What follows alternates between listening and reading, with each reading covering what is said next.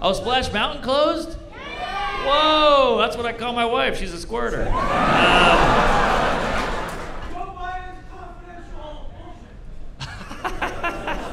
you talking about the documents? Yes, yes, yes. I heard they were written by Chat GPT. But, uh, Avatar 2, yeah, they spent more money on that than Ukraine. Uh, Andrew Tate. Aha. Well, he just got into it with Greta Thunberg. You see that? She accused him of sex trafficking, and you know, she hates traffic. Uh,